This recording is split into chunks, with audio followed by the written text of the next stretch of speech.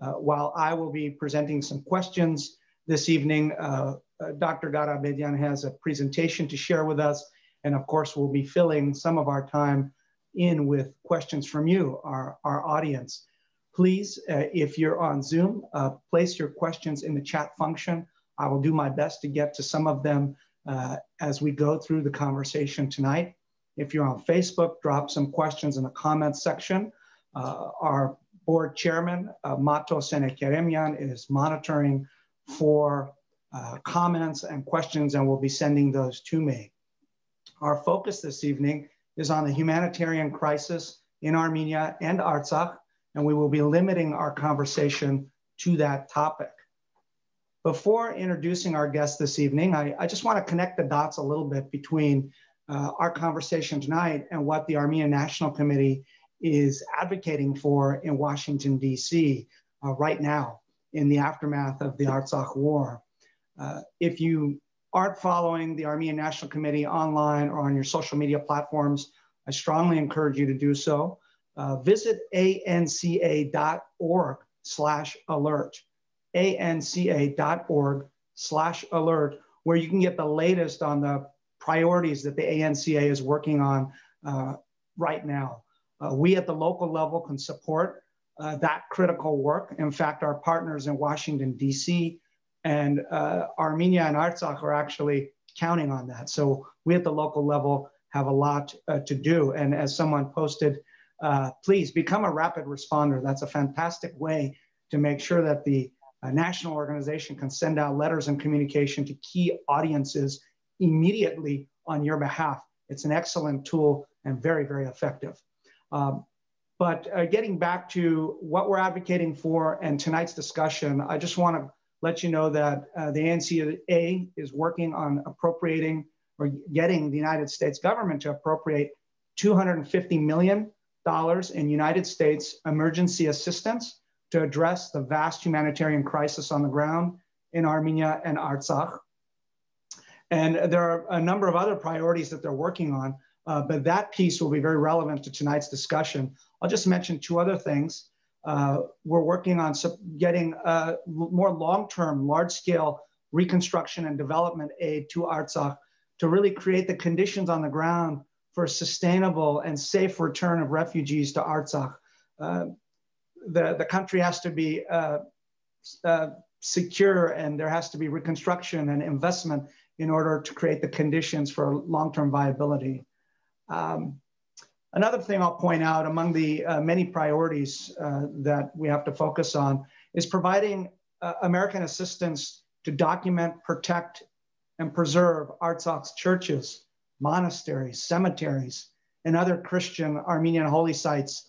Uh, sadly, many of those, as you know, have, have fallen into the hands of Azerbaijan, and we have absolutely no faith that they will uh, preserve and protect those sites in the long term. So that's another uh, critical priority that the ANCA is working on in terms of pushing the United States government to provide the aid and assistance that's needed, short term as well as as well as long term. So there's a very long road ahead. Um, sometimes it feels insurmountable, um, but today I was I was uh, at work. I was talking to some colleagues, and someone brought up the, the, the famous quote from the American cultural anthropologist Margaret Mead, uh, where she says, "Never doubt that a small group of thoughtful, committed citizens can change the world. Indeed, it's the only thing that ever has. And it's with that quote in mind that I was moved today when I saw a post on Twitter. I, I think it was the um, Armenian National Committee Western Region, uh, one of their board members posted on Twitter, reminding all of us that today, December 10th, 1991, uh, the people of Artsakh chose their destiny voting for independence and their right to self-determination. So, so indeed, it, we shouldn't ever doubt that a small group of thoughtful, committed citizens can change the world and, and change their destiny. You're here tonight uh, because you're interested in knowing more. Uh, you have and will continue to support uh, Armenia and Artsakh as a concerned member of the diaspora. Um, you know, wherever we are in the world, we're few, but we always come together kind of get together and commit to doing what's right, doing what's necessary for the continued survival and prosperity of our nation. And these for sure are challenging times. But all we have to do is look to our guest, uh, this evening's guest, to find example of courage, commitment, and hope. Uh, it's my, my honor to introduce Dr. Shant Garabedian. Uh, Dr. Garabedian is a former San Franciscan, uh, well known to many of you. He served in our St. Gregory Armenian Church in San Francisco. He was very active in groups like the Armenian Youth Federation. He's son of our longtime KZV Armenian school teacher and principal, Yeran Garabedian. And his father, uh, who sadly passed away last year, is, is fondly remembered by many, many of us here, especially those in the Homenetmen and scouting circles. And we fondly uh, uh, refer to him as, as Akela. So, so we miss having the entire family here in the Bay Area, uh, a wonderful family. And Shant, uh, after he kind of uh, grew up here and went to high school and, and university, I think at UC Davis, if I recall, um, he went to medical school and did his and then did his residency at a hospital in, in Tennessee. And he liked it so much, he decided to make the volunteer state his home. So that's what he calls home. He's married and has two uh, beautiful children. Garabedian is an osteopathic physician and is the medical director at Dyersburg Hospital Emergency Department. Uh, when Artsakh was attacked, uh, Shant heard the call of duty and quickly arranged to participate in a volunteer medical mission to lend his services, uh, his expertise. Uh, he recently returned from Armenia, where he treated the wounded soldiers and civilians during the war. And he's here tonight to talk about the medical realities on the ground in Armenia and Artsakh. So Shant, uh, welcome. Uh, thank you for being here with us tonight. Uh, I want to thank you uh, for your service to, to the Armenian nation. Uh, you know, not, not all of us have skills that are really relevant or immediately applicable in a humanitarian crisis. But doctors and medical professionals certainly come to mind. but it's not just about having the skills, having that capability. It's about having the courage and the commitment to actually insert yourself willingly uh, into a difficult and dangerous situation and make a difference in people's lives and, and save lives. So I think I speak for all of us uh, tonight uh, in extending our gratitude to you and your fellow volunteers in Armenia, Artsakh, and, and around the world. Um, uh, I'd like to begin by just laying out a few questions, uh, broad questions. I know you have a presentation, so I think we talked about you maybe um, kind of walking us through that, and then we could come back to some questions. But just initially, uh, Dr. Garabedian, what uh, war breaks out? How did you decide that you're going to go and put yourself in, in a really what is a very dangerous situation? Did your family and colleagues understand? Uh, what were the logistics? Uh, you know, you're dealing with a COVID crisis in your hospital in Tennessee and, and then you're flying halfway around the world to deal with a war and, and, and a COVID crisis there layered on top of that. So the conditions must have been, um, you know, uh, difficult and challenging. So uh, why don't you take us uh, from Tennessee to Armenia and, and let us know what you what you found on the ground there. Sure, sure.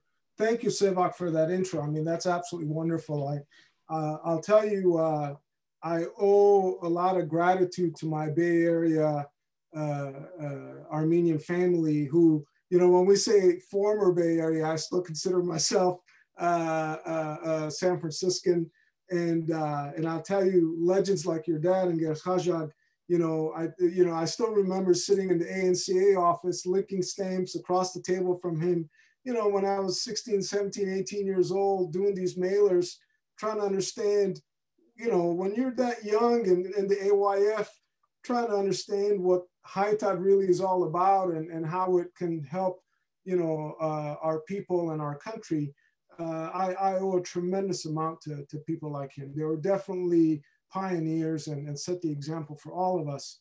Um, uh, so during the first Artsakh war, I was quite, I mean, I consider that young. I was 20, 21 years old, still uh, in college, still trying to figure out life and you know had responsibilities had some thoughts about the future um, and and felt bad that i couldn't go and serve now that war was quite different obviously and some people did go and served very bravely and heroically i just i just didn't i mean you know some people are are soldiers and fighters and some are not. And maybe that was just a little bit much for me at the moment.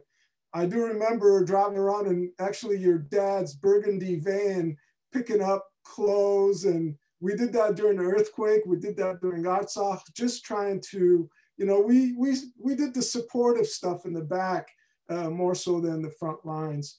Uh, so I always felt a little bit guilty maybe about that, that, that some people did go and, and, and uh, some even, you know, gave their lives, but I just wasn't probably brave enough at the moment. Um, and I always figured at some point something was going to happen. I mean, you know, we, you know, we we're surrounded by enemies, and and sooner or later they're going to want something from us, and and you know, it's un, somewhat of a, a, a unpredictable uh, uh, environment. And as a physician, I mean, I'm an ER doc, so you know, I'm I'm eager to uh, get in the fight from the healthcare standpoint to, and I have I have skills and services that I could offer uh, my fellow Armenian soldiers, civilians really didn't matter. So uh, I remember vividly when the war started. It was on a Sunday, and I happened to be in Atlanta, uh, and I read it on BBC, and I just could not believe it. Um, and uh, but in the back of my mind, I said, okay, well, this is the time. I'm I'm mentally prepared. I'm physically ready, um, and this is sort of what I've been thinking about. And uh, and so from then on, I started planning. Now back then, there was no coordination effort whatsoever. It was really to each their own. I mean, if people wanted to go, they just went. Uh, they, they, didn't have to ask permission from any government agencies. They didn't have to figure out where they were going. They would just up and go. And I admire that. And that was, I did reach out to, to a few people. One was actually the Artsakh rep in, in the US. But because the fighting was so vicious at the time, they were, and, and they seemed to have enough. I mean, it's the typical Armenian Armenian thing to say is, Hama Bechunik, you know, we're okay, we're okay. And and uh, they said, well, we're okay right now, but we'll let you know when it's time. I said, so I, I, I, was excited and then I was a little deflated initially. I said, well, I mean, I'm really eager to go, but I guess I'll just wait just a little bit. Um, but in the meantime, I started gathering supplies. Now, as an ER doc, I never have to buy supplies for my emergency department, right? I mean, I don't have to buy a suture, IVs, uh, IV tubing, masks. I, I, that's, that's something that the hospital purchases, not me.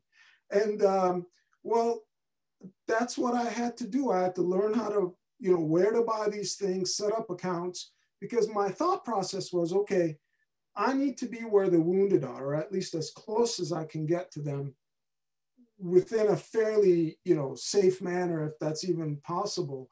Uh, because as an emergency physician, that's where I can do the most, uh, have the most uh, benefit, uh, right? I mean, if I'm sitting back in Yerevan and it takes them six hours to get to me, at that point, they don't need an emergency physician anymore. I mean, that golden hour of trauma is truly a golden hour. If someone's going to bleed to death, or they can't breathe, or they have a collapsed lung, or you know, a wound that's just uh, you know giving them fits, that's not going to last them six hours typically. They'll exam- exsanguinate by the time they get to, to the help that they need.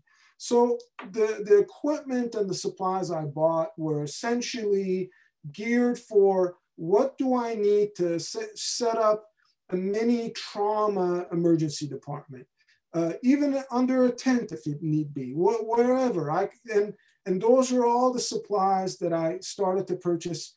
Initially, I, I thought, okay, well, I'll do uh, you know uh, one you know one suitcase full of supplies, one suitcase for you know me and my clothes, and I'll be good. Well, the one suitcase of supplies eventually turned into six boxes and I didn't know this, you don't, you can actually take ship boxes with you. Uh, they had to have certain dimensions, maximum size, but I got the most, the, the allowable size that I could possibly take. And it ended up being six altogether, plus my suitcase. Um, from, you know, chest tubes, IV cath kits, uh, bandages, you name it, the uh, kits, because I didn't, I wanted to be self-sufficient, right? I didn't want to get there and I say, oh, I need this. And they're like, well, we don't have that. And, and there's no way for me to communicate with anybody to know exactly what they have and what they don't. Again, this is, you know, early on in October, let's say the first week of October. Now, so this is going on in the back of my mind. You asked, how did I tell my my my wife or my my my mom, right? So, uh, my wife, I thought would be kind of tough, but and she may be on this, so I have to be careful how I say this. But I sort of broke it to her somewhat gently. I mean, we she was laying in bed, and I was just kind of sitting there next to her, and I said, "Look, I'm really thinking about going." Without blinking, Sevak, she looked at me. She said, Yeah, I knew you'd probably do something like that. I said, Okay, what do you think? She goes, Absolutely. I said, Okay, well, that, you know, that's one person off off the list, right? So she's she's all for it. Well, then I had to tell my kids. Um, my son, without a blink as well, said, Hey, uh, you know, if you can help him, dad, you should go. He's 14 years old, Alec. Uh, my daughter was a little bit more hesitant because she's the thinker, right? So she goes, isn't there war there? I said, yeah, well, why do you want to go if there's war? I said, well, that's the whole point is I need to go and help the wounded. She said, yeah, but that sounds too dangerous, Dad. I really don't think you should go. So she took it harder, um, but eventually gave, gave her, you know, her approval. Um, then ultimately came Digin right? So uh, uh, I, I, did I did worry about her quite a bit, and I had to so in the meantime, I already bought my ticket, right? So I bought my ticket for November the 2nd because I couldn't go in, August, uh, in October because our schedule was already set. We were in the middle of a pandemic. You know, uh, we were all working, you know, our shifts and we were quite busy. I just couldn't bail on my docs. Uh, so I said, all right, I haven't made the November schedule yet. I said, I'll just, you know, ask them who can work. And then, and, and once I got that schedule, then I you know, I gave myself basically the whole month of November off, thinking that I'm going to be there. My return flight was November the 25th. And then I put, built in a three week cushion on the end of that, meaning I'm actually uh, yet to go to work. I'm not scheduled to go to work till December the 15th because I said, what if I need to stay longer? Because I don't want to get there, start doing some work, and then bail on them, you know, setting setting up a unit and then going, okay, well, I got to go home to my comfortable living and you guys are on your own. So I wanted to build in a cushion. Um, and, and when the schedule worked out, I bought my ticket. Then I told, I gently told my mom, I said, Mom, I'm thinking of going and taking some supplies. She didn't say anything, you know, she said, oh, okay, you know, I, I think she sort of just ignored me. And then a few days after that, I said, Mom, I'm really thinking of going and helping she said, you know, and she was glued to the TV, right? Probably like every other Armenian in the diaspora, uh, watching the news as to what was going on. And she said, you know, that's funny you say that because they're, and she may be on this uh, video as well, but I, I apologize. But um, she said, um, you know, they've been announcing on the news that they want professionals to show up, not just any willy nilly people that are going to get in their way. I wasn't sure how to take that, but I assumed that she was good with it, you know. Um, I said, okay, mom, so what do you think if I just actually go and, and try to work as a doctor? She said, yeah, I think that's fine. And then she came back with, I just don't want you to carry a gun. I said, well, uh, that's fine. I don't, I don't necessarily want to carry a gun, but I said, I will tell you on the front end that if I have to defend myself, I will. I'm not going to basically just be taking prisoner, taken prisoner without any sort of a fight. She said, fine. And so mom was done. So mom was, I mean, she wasn't easy, but she understood, right? I mean, that, and frankly, I just blame her for it. I mean, her and my dad, I mean, they're the ones that raised us this way. And so it is what it is. Uh, obviously, Seva, there, there was a, there's danger, right? There is danger. I mean, if it was, if there was none, they, they wouldn't need me. I mean, but considering that, I still felt that it needed to be done. I don't, I, I just didn't think that my life was any more valuable than all these other people that were going. Uh, the, the Armenians that were going, I mean, the young people that had no choice but to go. Um, I have a choice. And more or less, my life is pretty solid. I mean, I'm not abandoning anybody really. I mean, uh, uh, you know, you have young fathers, you have brothers, sisters, even from Armenia, just up and leaving. And, you know, they have obligations much more than I do, but they're not blinking like we are, or like, you know, I should have maybe. I don't know. Um, so, long story short, it was set. Mom gave me her approval. My wife did. My kids did. I had the ticket.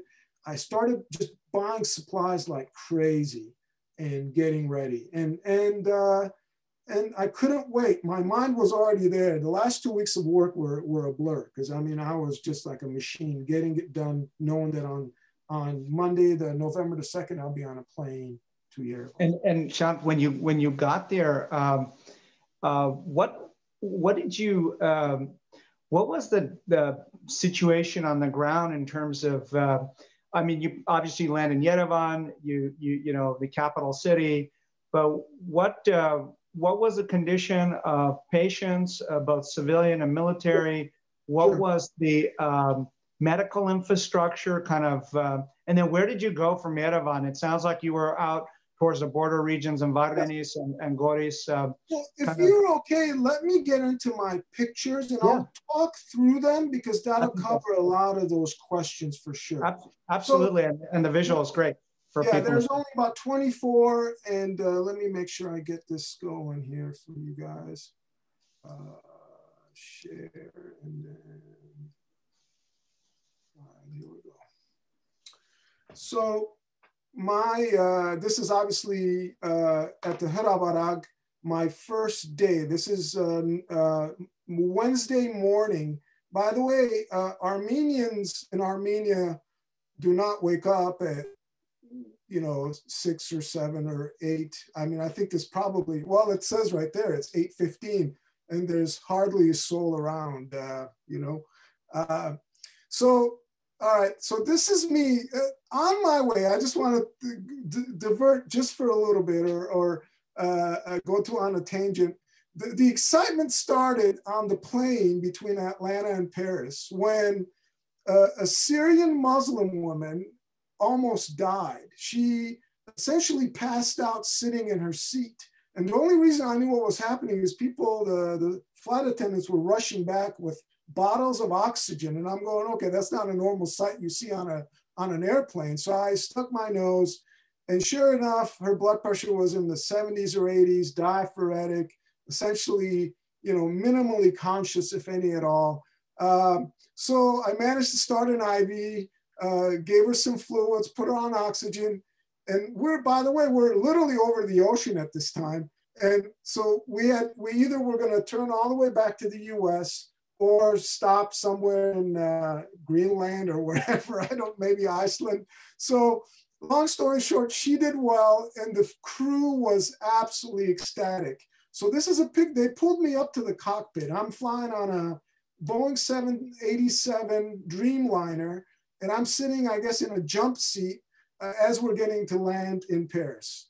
Uh, if you've ever been in a cockpit of a Dreamliner, it is amazing. And I'm, I'm not a big flight geek, but this was once in a lifetime thing, I think. So I was there through the landing, actually.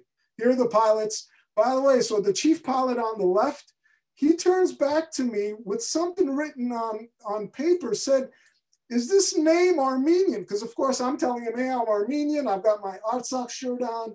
Uh, and he goes, is this an Armenian name? And it, it didn't sound like a typical Armenian name, but it had an IA. And I said, well, it could be, I'm not sure. He goes, yeah, some of my relatives have that name. I said, okay, that's cool. You know, very neat. I mean, they're French, right? So they, they know Armenians. Uh, it was kind of cool because the flight attendants were so, so happy. They said, what can we do for you? I said, listen, I've got six boxes in the belly of this plane that have to go to the next uh, to the next connecting flight to Yerevan. Please make sure they get there because in Paris, sometimes things get lost. So they made sure that stuff got there, which was very nice. Anyway, that's my flight out. Uh, here are my boxes. This is at Zvartnots Airport, my uh, six boxes plus my suitcases up on the top. Um, somebody from the Foreign Affairs Department uh, was supposed to meet me there to help me through customs. That didn't pan out, so I had to fend for customs on my own. I don't want to belabor that point, but it was not pleasant. They wanted to keep all the supplies, but I absolutely refused. Uh, and my Palutsi and Kharpetsi Damar kicked in and I was able to walk out with my supplies about an hour later. Uh, so the first night I spent at the Marriott, uh, so that was Tuesday night. It was late anyway. Wednesday, it was a back and forth, back and forth. Are you going to go today? Are you not going to go? You know, the coordination wasn't just perfect. So finally, Wednesday afternoon, they said, yeah, yeah, an ambulance is going to come by and they're going to take you to Goris. Initially, they said they're going to take me to Stepanakert. I said, that's fine. Then they changed it to Goris. So this is me in the back of an ambulance with all my boxes. And when I was stacking the boxes, I was piling up like one on top of the other, but the guy, the driver insisted that he put them flat. And I couldn't figure out why until we took, until we basically got on the road. So he went lights and sirens. I mean, I thought, I thought if I'm gonna die on this trip, this is where it's gonna be because it was literally, I think, four and a half or five hour drive of bumpy roads now I know why he made them all flat because otherwise they would have broke through those glass and, and, and gone on the road. It was, it was terrifying. And I didn't have a seatbelt where I was sitting. I was hanging on for dear life. Um, so just to give you a visual, I don't know if you could see my pointer, Yerevan is up here. So, and Goris is down here. So it's about a, on a typical drive, it will probably take you about five hours easy, I think.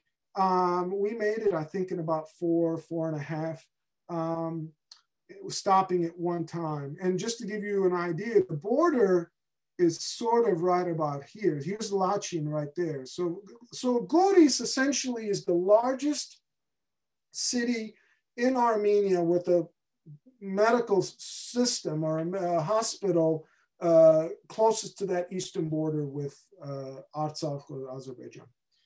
Um, so again, here's, I don't know if you guys can see my pointer, but here's Goris here, and here's the Armenia-Azerbaijani border. See, it says Azerbaijan there and Hayastan there.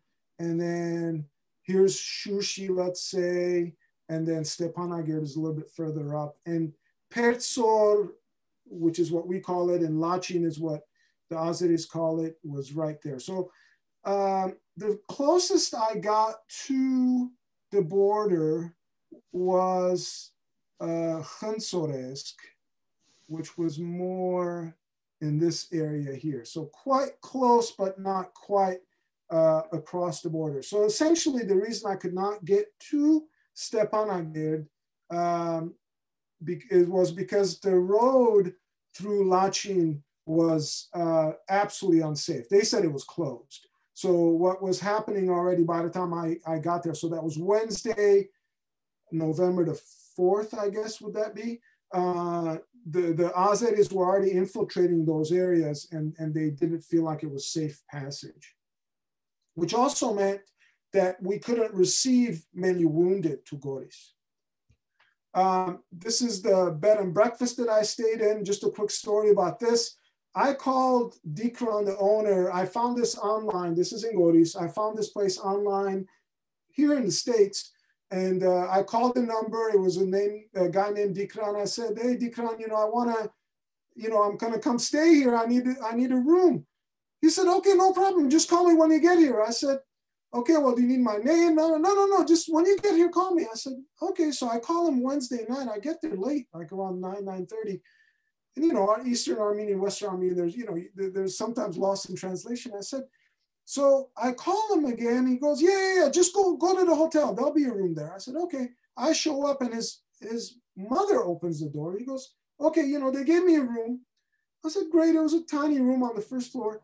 So then I go, um, I wake up the next morning and I go upstairs and I'm surrounded by soldiers. Every room other than mine is occupied by a soldier. Military fatigues, AK-47s. I mean, I was I was a little I was excited to see Armenian soldiers. I was also a little intimidated, but basically, Dikran had dedicated his whole hotel free of charge to soldiers. He would feed them every morning, uh, even wash, you know, the, the, his mom would wash their clothes and hang them outside.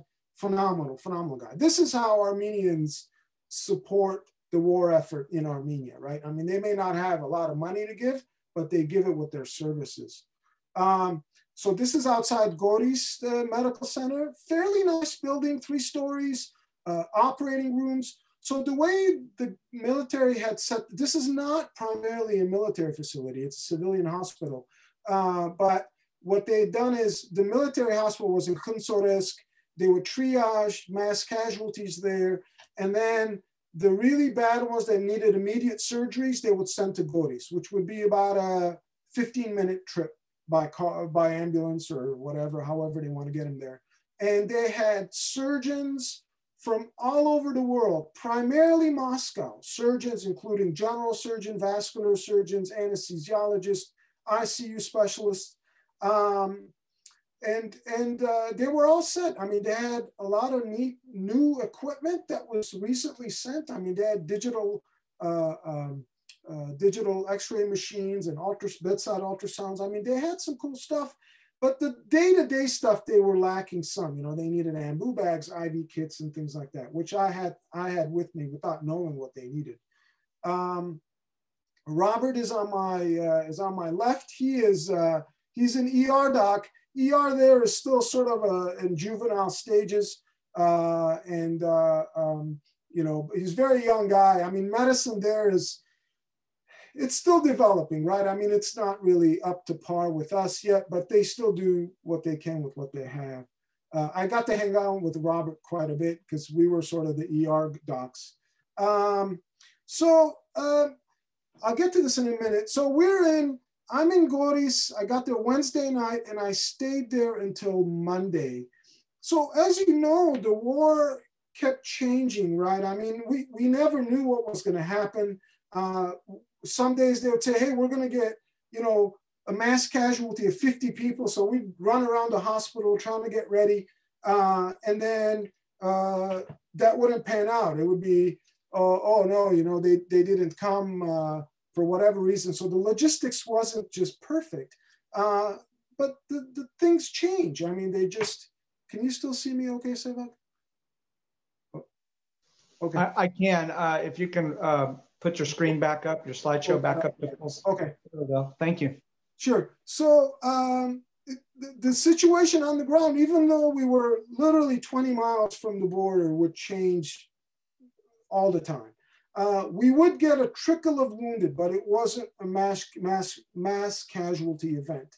The, the busiest we got was the night that Shushi was in trouble. Uh, and at that point, it seemed like some of the floodgates opened and we started getting some very heavily wounded people um, who were being rescued uh, through the Lachin corridor as best as they could get them to us.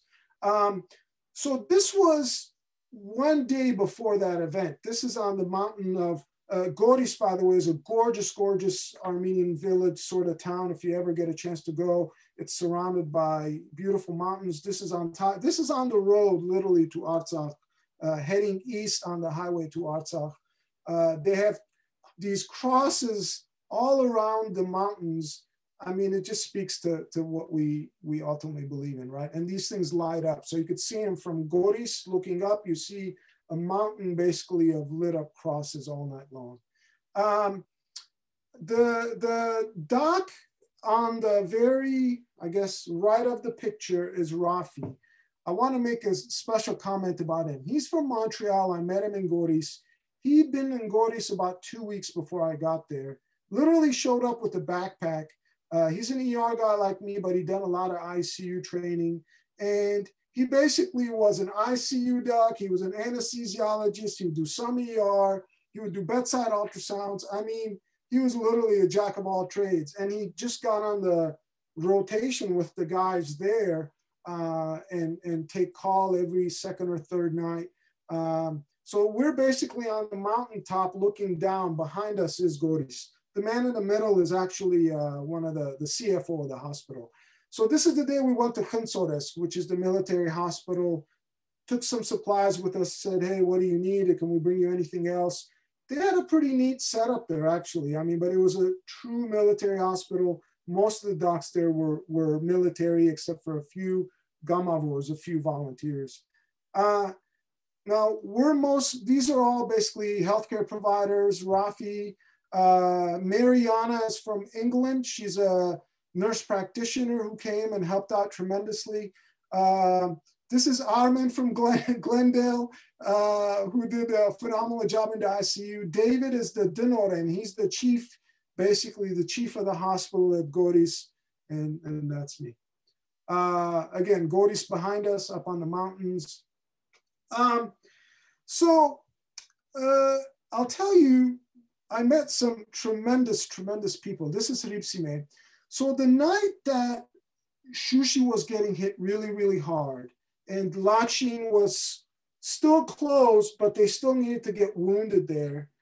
A call went out, and basically they would load up ambulances with three people one, the driver, and a physician, typically a young physician like her, residents, uh, and then uh, either a, a nurse or some sort of a medic. And they would head out to transport patients either to us from Stepanakert or wherever they can get them, or from us to Yerevan. So that, I think there were four crews that did that. So on Sunday night, when all hell broke loose in Shushi, these people started loading up and putting body armor on, helmets. The driver would have an AK 47, and they would literally just go into the battlefield to bring back the wounded.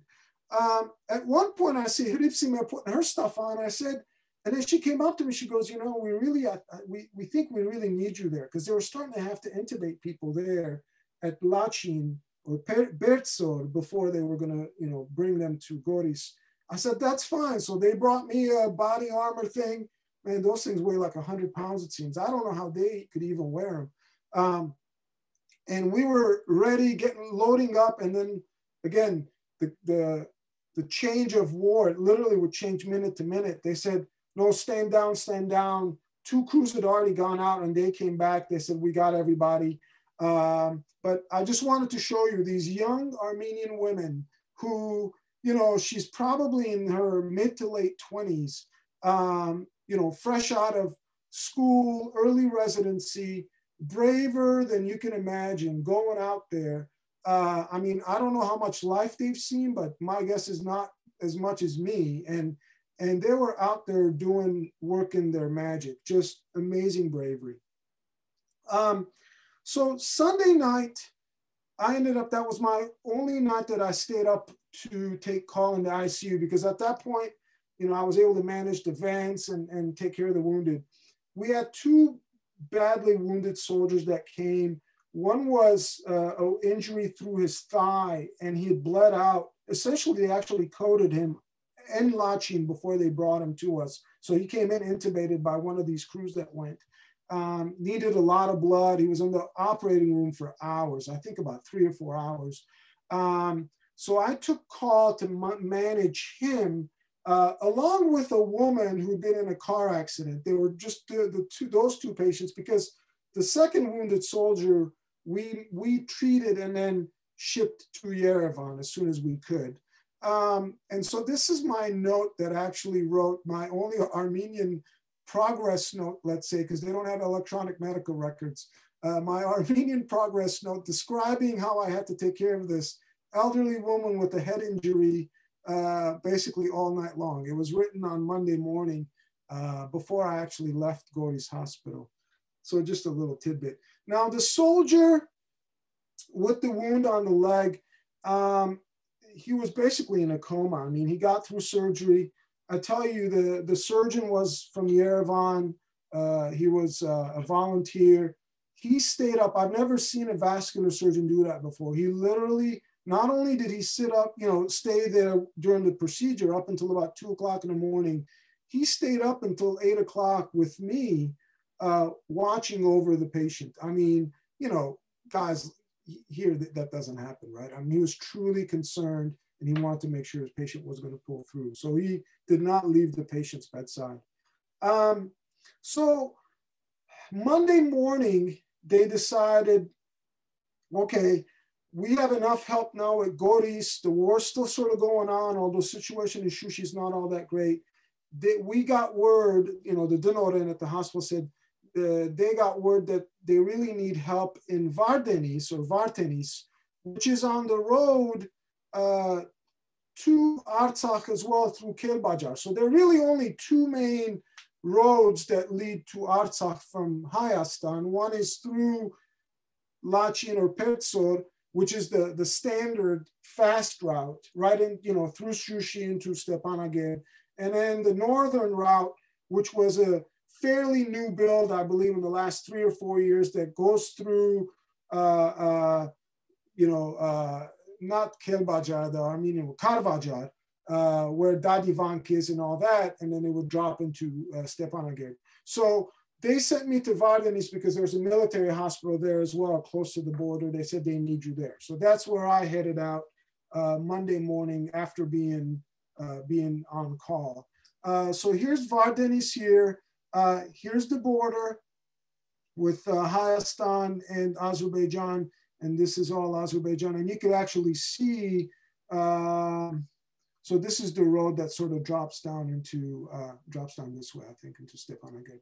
Here's Karvajar and Kelbajar, whatever you want to call it.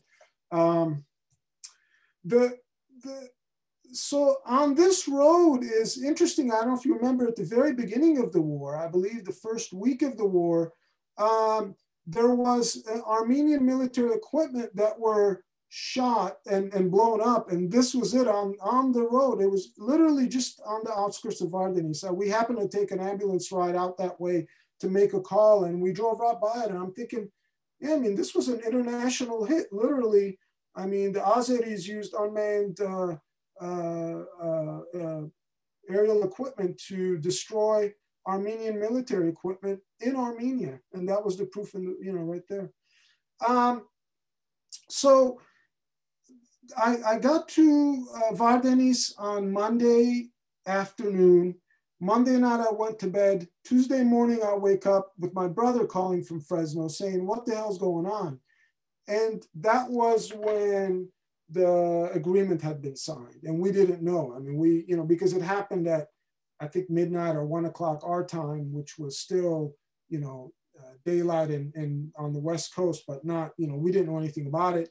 Um, so that's when uh, I went over to the military hospital, and that's where I met these guys. Uh, amazing bunch of people. Let me tell you, uh, again, the, the amount of support that Armenia got from Armenians who live in Armenia was tremendous. I mean, they literally dropped what they could and, and went to help in any way possible. So this is a military hospital this guy's a military guy, this guy's a military guy. These two are husband and wife anesthesiologists, uh, literally dropped the, what they were doing in Yerevan uh, and came to work, came to help for no money, nothing, total volunteer. And they ran the, they ran the anesthesia department at, uh, at the Vardenis military hospital. Uh, I still keep in contact with them, wonderful guys. So this guy here is an orthopedist. He's an anesthesia, and, and there's uh, there's me. Uh, Sean, um, um, yeah. Uh, well, maybe I, I, just want to interject real quick. Uh, since you're showing these photos, uh, we have a question, and I, I, I was thinking the same thing. Uh, we're all trying to social distance and be very careful with masks and so on. Yeah. What was it like in the uh, in Armenia in general, but then in the hospitals when you're dealing with the with the war, but there's COVID? Uh, was COVID kind of out the window uh, when you're dealing with war, or how, how, how was that being managed at the same time? Well, mostly, yes. I was probably the most paranoid. I know in these pictures I don't have my mask on, but 95% of the time I wear my mask. I was absolutely paranoid about COVID. Um, and, and, and it was always in the back of my mind. And I, that was not a place I wanted to get COVID either. I mean, I just didn't know what kind of uh, uh, you know what kind of healthcare that would be at that moment. But uh, um, but yeah, most of the time these guys did not worry about COVID. Now, um, interestingly, the, some of the nurses in the community hospitals they would wear their masks more, at least in Goris they did. But um, speaking of COVID, so that's pretty much it for my pictures. Let me tell you, speaking of COVID, uh, uh, Sevag, I did um, I did go on some uh, some trips. Let me see. Okay, is are we still good? Yeah, yeah, please. I did make some um, ambulance calls while I was in Goris, just because we were we had some downtime waiting for you know uh, wounded to show up, um, and COVID is spreading like absolute wildfire. it's people, some know about it, some don't, or some maybe just have, you know, I'll tell you the, the problem in Armenia is there are social things that they do that actually is very uh, bad for COVID. I mean, it, it, it, helps COVID spread more, right? So we would go into a house. Now, Goris is a sort of a mountainous area, so it gets cool at night, uh, uh, especially in November. Well, all the windows would be closed. Everybody would be huddled around uh, a wooden burner in the middle of the biggest room they had, typically the living room and everybody would be together. And then there would be the hivant, the, the person that's sick, sitting in the middle, uh, who's coughing, who's got fever and chills, obvious COVID symptoms. Um, and yeah, there's no air circulating, no one's wearing masks. I mean, it's, it's far from their thought process. And the other issue was we had nowhere we could take them. We hardly ever transported anybody to the hospital. Number one, Goris Medical Center was designated as a backup military. So we didn't bring very many patients there. And if somebody had COVID, even if they were critical, we would literally just tell them, hey, you got to call around hospitals and see if you could find a spot. And it could be hours away. So the situation with COVID is, is, is horrendous there. And it will, I assure you, it will get worse uh, because they, they were not able to get take any precautions. Um, and, and in, ge- in general, did you, um, you, you talk about, I mean, first of all, I, I want to acknowledge the, the comments you've made about the people there. So there's obviously professionals deeply caring about society and the war and, and giving of everything they can to support um, the war effort. But uh, tell us just a little bit about the infrastructure. You talked about the Goris Hospital being in fairly new, pretty good shape, but then we have this kind of contradiction of uh, people not even really knowing about uh, uh, about COVID maybe and, and really knowing what to do about it or how to how to deal with it. What's the infrastructure there based on your general knowledge of, of the Armenian medical um, uh, community um, and, the, and what you saw? Was is is um, kind of where's it at and and uh, and then kind of looking forward to the recovery of Armenia and the recovery from this war and, and this humanitarian crisis what needs to be done in the medical field to really help Armenia move forward and Artsakh? So the, the infrastructure depends where you are. Goris Medical Center was probably one of the nicer hospitals I've ever been to in Armenia, period. It was fairly new. It was fairly well stocked. Um, but again, the building's only so much. I mean, you know, the caregivers are, you know, I mean, you can have a building, but without, you know, decent docs or decent nurses, whatever, it, it, it doesn't, you know, it doesn't go far. Um, and mind you, most of the physicians I interacted with Goris, some were local, but a lot of them did come in either from Yerevan or came in from overseas. So I'm not, I'm not really sure how many solid docs there were in Goris to manage these patients. Now they did have a decent number of ventilators. They'd gotten a supply of ventilators, even small, you know, some even potentially portable ones. Uh, but, you know, as you well know, COVID, you know, it could be 10 patients that have it, it could, there could be 100 patients and they don't have 100 vents. The ICU only literally had four beds. So, you know, after you put four people on a vent in that ICU, you're pretty much, you've maximized what Goris can do. And Goris is, the only major medical center in Syunik, okay? Then you're gonna have to move closer to Yerevan. Uh, when I was in Yerevan, they said the hospitals there were pretty packed. Uh, I just spoke to my friend uh, Anushavan, who was one of the anesthesiologists there uh, that I had the picture of, and he said uh, the current problem now is COVID more so than the wounded. So the infrastructure uh, it doesn't matter how advanced they may be, it's collapsing just from volume issues, right? It's no different than us. I mean, we have uh, uh, we have volume issues here too. I mean, we have modern medicine, but you know, if you have hundred patients that need uh, uh beds and you only have 20 available, what do you do with the other 80? Um, so I, I, I worry about the, the Armenians in Armenia for sure. Uh, hospitals, um, the, the military side was okay, wasn't all that great. Definitely not Lachunsoresk, but the, the civilian hospital was awful, absolutely awful. I mean, it's run down. Uh, in, in, in Vardenis, is that Vardenis, you were talking about? Ah, yeah. Which is a, so it's a smaller, much more small, much smaller town than Goris. See, Goris is sort of a number one. Goris is on the main highway from Iran, right? So there's a lot of traffic, a lot of, and then there's also it's touristic. So uh, they probably are a little bit better off than places like Vardenis, which was not as developed. Um, it was scary. Um, we actually, the first call we went on, and there weren't enough doctors in Vardenis, that was for sure. Uh, not the, mil the military side that had some, but on the civilian side, they didn't have any. So the ambulances and Vardenis would go out with just a nurse. They wouldn't take a doctor. Oh, wow. uh, and the diagnostics were questionable at best. I mean, they literally would uh, check a blood pressure, listen to a heart, and that's it, you know, and they would diagnose and treat right then and there. They would hardly take patients back to the hospital because there's hardly anything there either.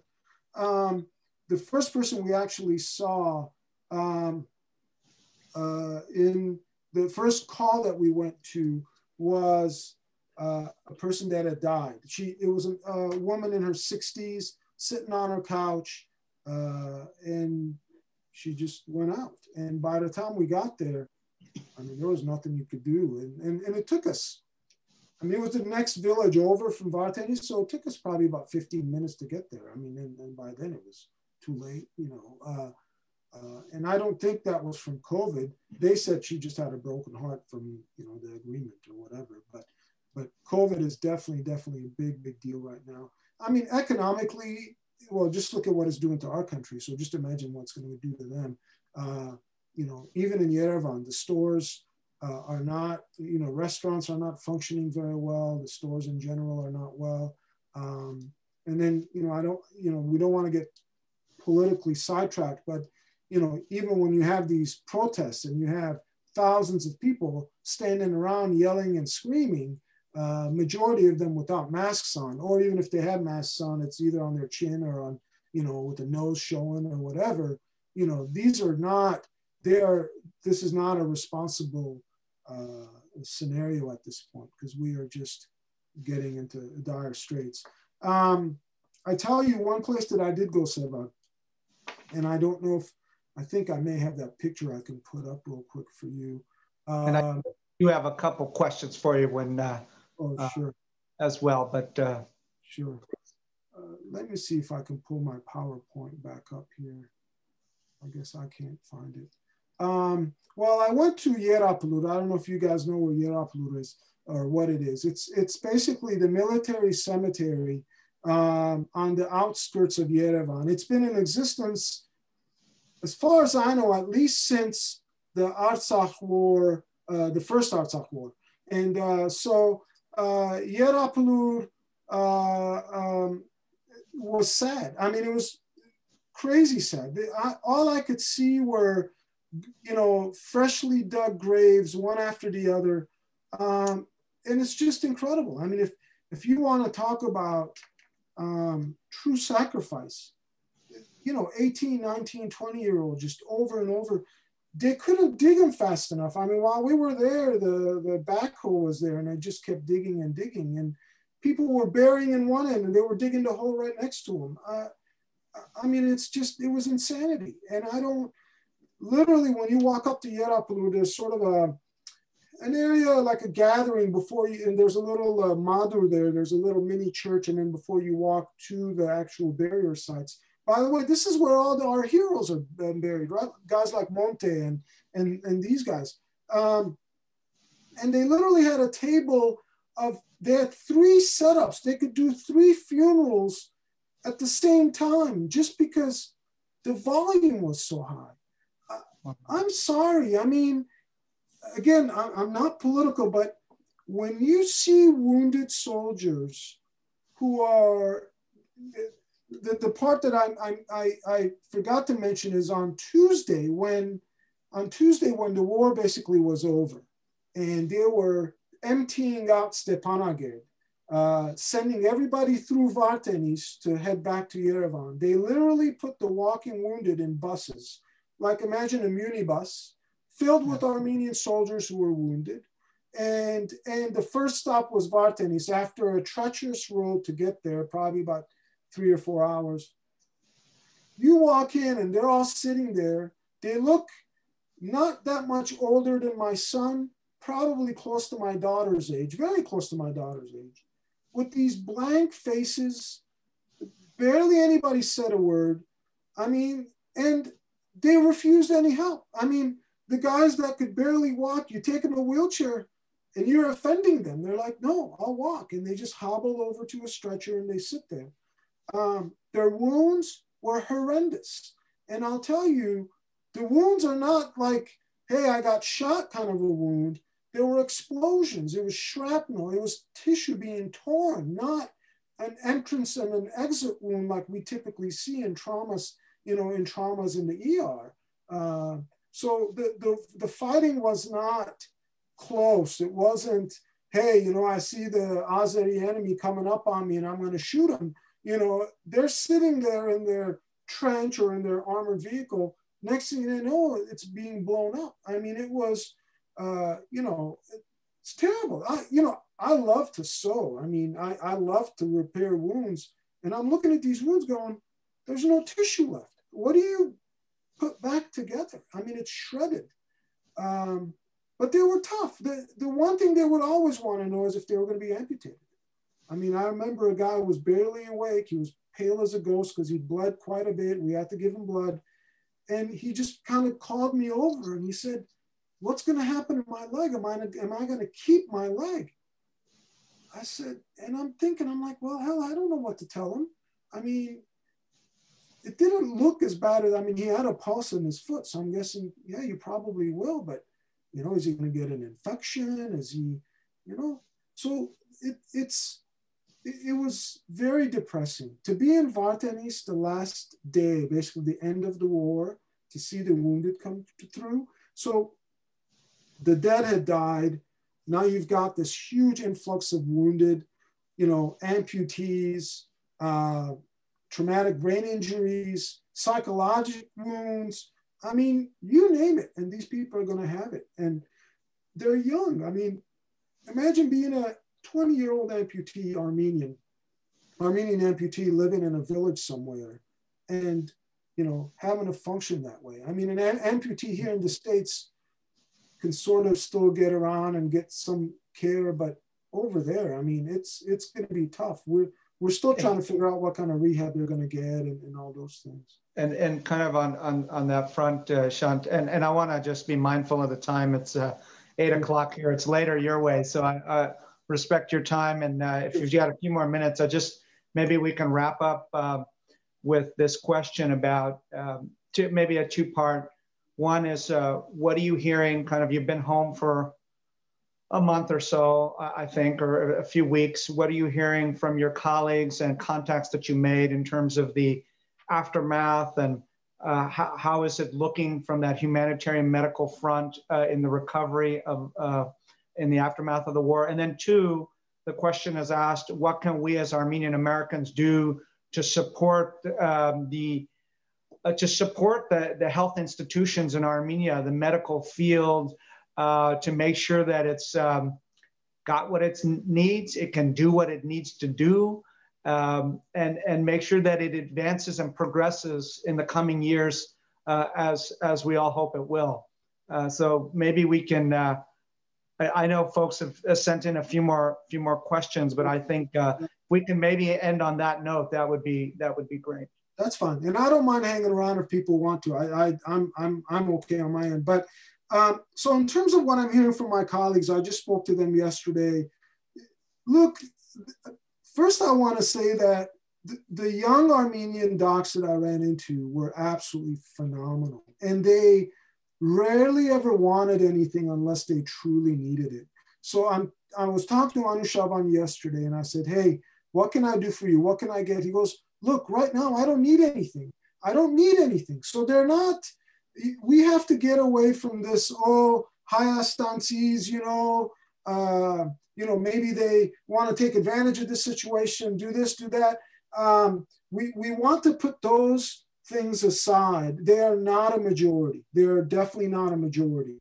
Um, so the things that are needed right now, the Armenian, uh, American, and international medical groups are already working on. I was on a call last Sunday with AMIC. Uh, I think it's Armenian Medical International Committee. Um, and um, there were a lot of very, very amazing people on there, mostly, uh, and this is an international thing. So there are Armenian uh, uh, uh, doctors from Armenia, doctors from East Coast, West Coast, US, Canada, France, um, and, and not just doctors, I'm sorry, healthcare providers. So we had physical therapists, we had uh, um, uh, psychologists. So we know what's necessary and they're already making inroads. The tricky part is some of it is logistical, obviously, but it's also changing the mindset there, right? Armenians a lot of times are stoic. So, you know, you walk up to a wounded guy, go, hey, what do you need? He goes, I don't need anything, I'm fine. And you go, you know, you're obviously missing a leg or, you know, are you upset about it? No, I'm fine. And, you know, they, they want to push help away sometimes. And um, so they need to know that it's, they need to know that it's okay to ask for help, right? It's okay to say, you know what, I feel awful, or I feel like, you know, my life is miserable or it's not worth anything. I feel like I want to blow my head off. I mean, you know, these are young people that were traumatized in ways that a, a military, a military any of, of any recent history has not gone through this kind of trauma. I mean, sitting in a tank, not knowing when you're going to get blown up, is not like being in the forest and defending yourself in a fight, right? I mean, you have a chance there. You can in a in a in a you know physical fight where you see your enemy and you can say, okay, I can escape or I can do this, I can do that, I can have some strategy. Fine, but the unpredictability of sitting and next thing you know, you're you're blown up with all your friends, or somehow you live and your friends die, and it, it's it's it's very very scary to them, and and they live. I mean, these are nightmares that they'll live with forever. So my colleagues right now need, look, we cannot stop helping. My, worry right now is that because of all the demonstrations and the protests, and we're pro this, we're pro that, it's taking away from our absolute purpose of helping not just the wounded. You've got, you know, wounded mentally, wounded physically. You've got the the soldiers that died and they have families that they were supporting. On top of that, you've got people with COVID. And then on top of that, you've got just the people in Yerevan and or, Armenia as a whole who are who don't have jobs because the economy is so bad. So, I mean, this is not the time to back off on Armenia because of whatever political differences you may have. Think of the people. Think of, of the suffering. I mean, if if I don't know what mom my mom would do if she lost me when I was 18 years old. I don't know what she would do. I mean, my guess is she would have a hell of a life. Well, how do you take care of those moms? How do you take care of the the children? I mean, when I'm walking around Yerablur, you know, let's say they buried a 40 year old man and he's got two sons there, and you know, who takes care of them?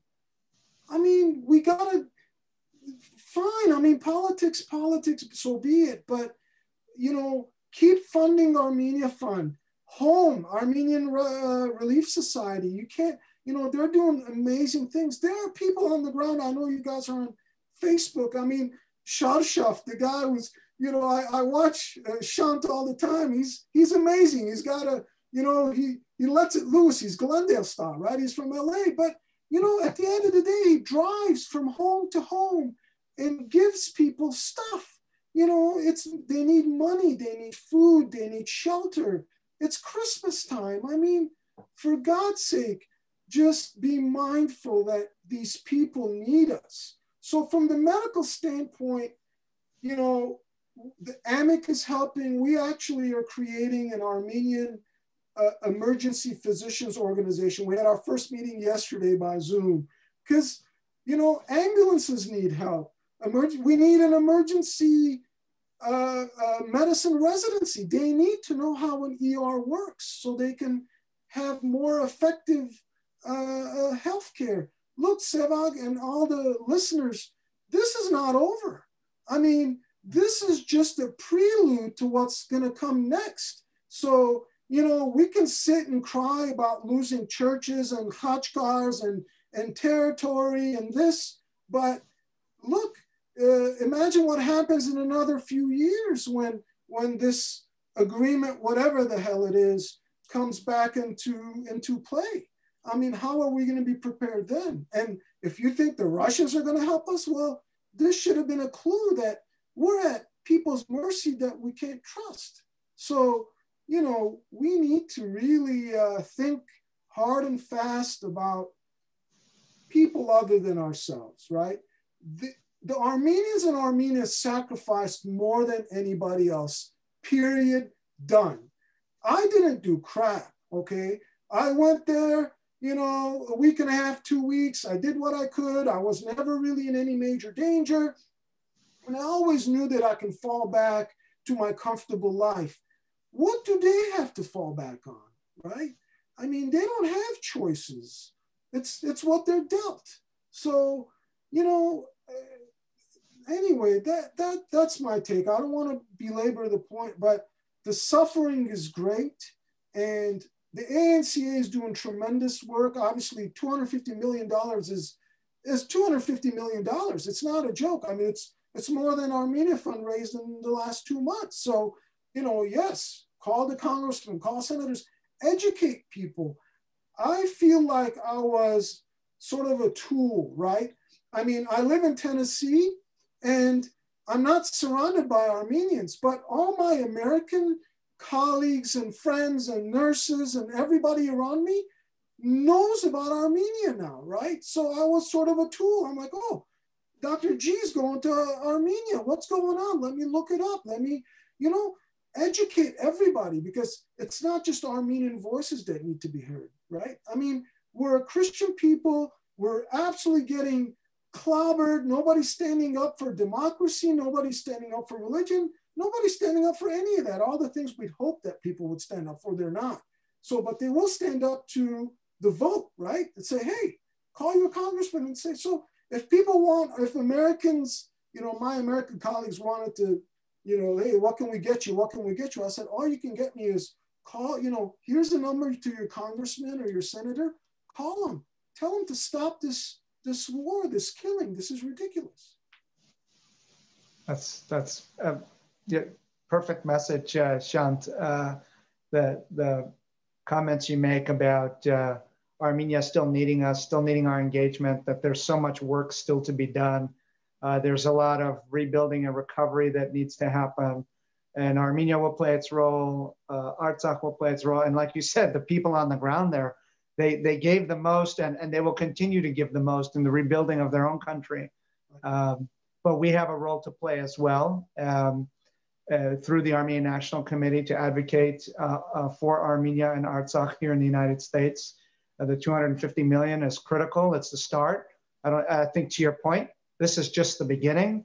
Uh, there's a very long road and long tail to this, and uh, the work uh, began begins and will continue. The 250 million is uh, for everyone's benefit is really more of a stopgap humanitarian effort that is not uh, the be all and end all. ANC and other organizations will be advocating for much more long term commitments, uh, including the Millennium Challenge Corporation Compact for Armenia that invests in science, technology, and arts education. Armenia has benefited multiple times from that. And that those are huge dollars that go into a country and focus on those areas of education. Armenia kind of fell out of qualification for the Millennium Challenge um, uh, over the last recent years, but because of the war, may kind of requalify uh, for that. And we hope to promote and, and push that as well with our elected leaders in Washington. So pay attention to the emails, uh, make those calls, make the effort. Um, Shant, you've got a lot of fans on the on the comment section here. I can't read everything, but I can assure you that uh, everyone is incredibly grateful uh, for your effort, for taking the time, making the effort to go to Armenia. Um, while you weren't necessarily, as you say, in danger, it was uh, certainly a dangerous situation, but you willingly went and, and put your um, personal life aside and went to contribute to our country and to the war effort. And, and we're so grateful. Um, and we're also grateful to have you back safe uh, at home uh, with, with your family.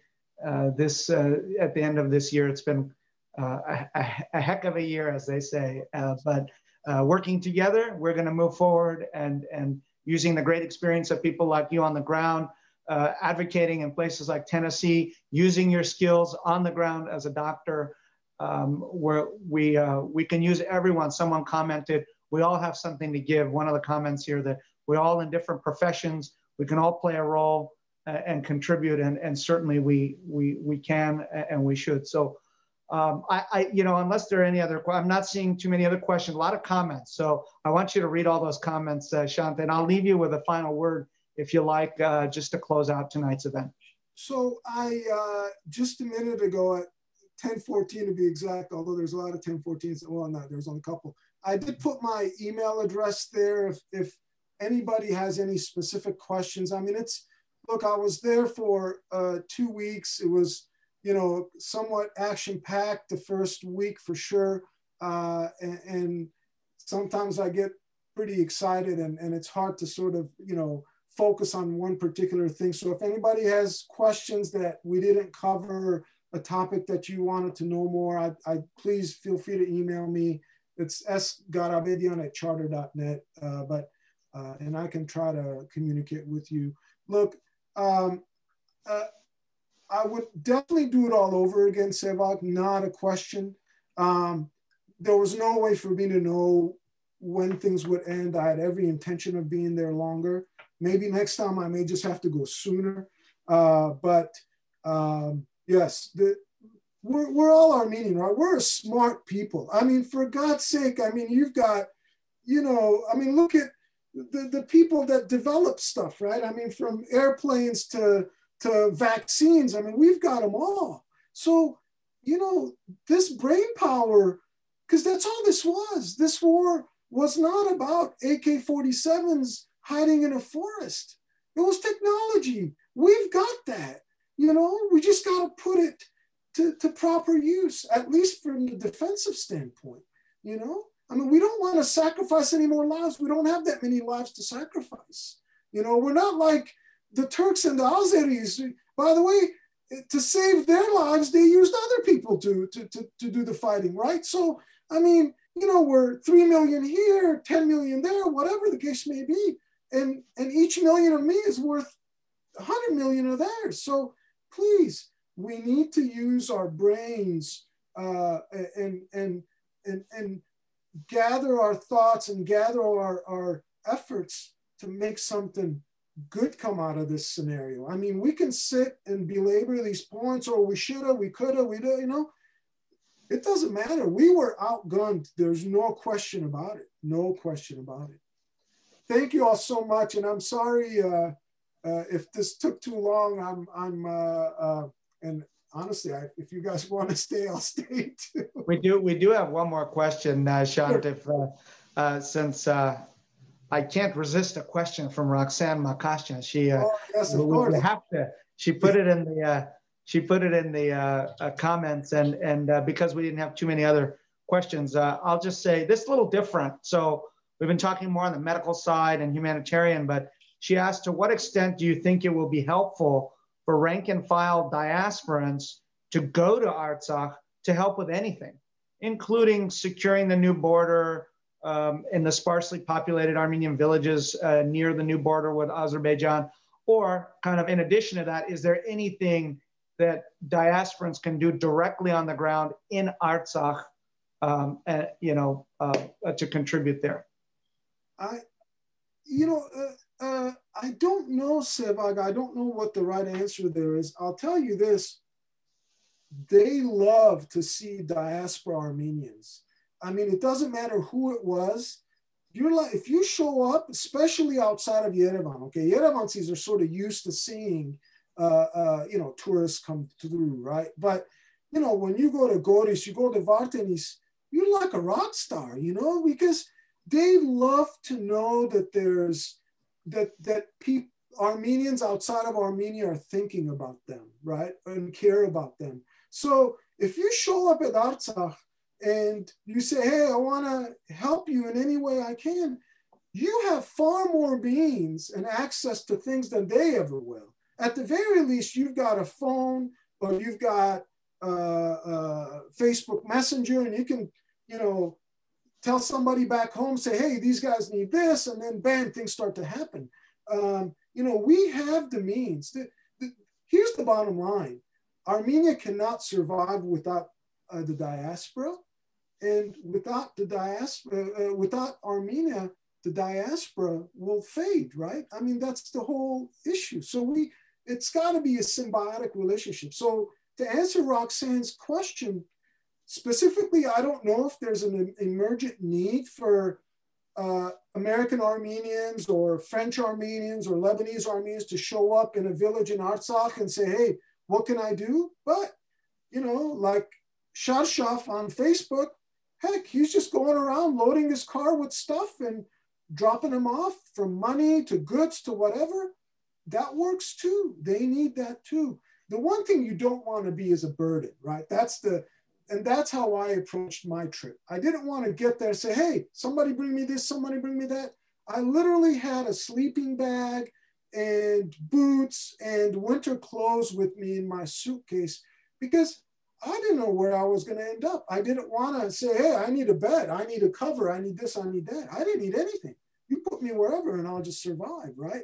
I mean, so go there with the intent of number one, you don't want to complain a lot, right? I mean, it's it's it's pointless to get there and say, oh, Dak Churchunek, um, oh, Hosank Incherav, oh, Wi-Fi ure, uh, uh, you know, Bet Karana. So for the non uh, non uh, Armenian speakers, hey, what happened to the Wi-Fi? What happened to electricity? What happened to the hot water?